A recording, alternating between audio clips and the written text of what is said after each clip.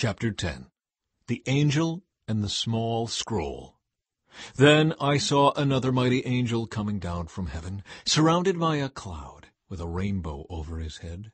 His face shone like the sun, and his feet were like pillars of fire. And in his hand was a small scroll that had been opened. He stood with his right foot on the sea, and his left foot on the land. And he gave a great shout like the roar of a lion. And when he shouted, the seven thunders answered. When the seven thunders spoke, I was about to write, but I heard a voice from heaven saying, Keep secret what the seven thunders said, and do not write it down. Then the angel I saw standing on the sea and on the land raised his right hand toward heaven.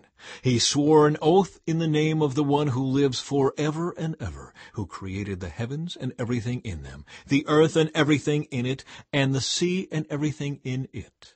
He said, There will be no more delay. When the seventh angel blows his trumpet, God's mysterious plan will be fulfilled. It will happen just as he announced it to his servants, the prophets. Then the voice from heaven spoke to me again, Go and take the open scroll from the hand of the angel who is standing on the sea and on the land. So I went to the angel and told him to give me the small scroll.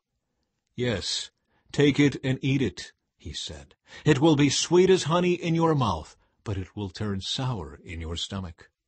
So I took the small scroll from the hand of the angel, and I ate it. It was sweet in my mouth, but when I swallowed it, it turned sour in my stomach. Then I was told, You must prophesy again about many peoples, nations, languages, and kings.